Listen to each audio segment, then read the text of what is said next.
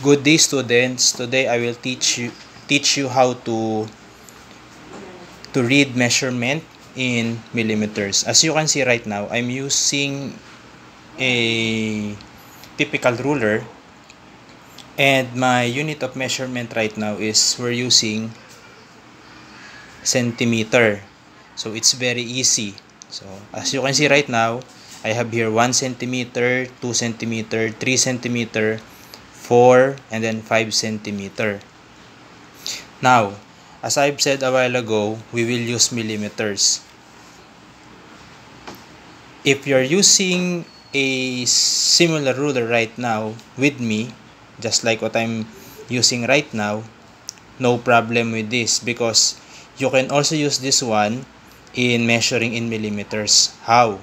So each graduation, like for example, for this one, each small line,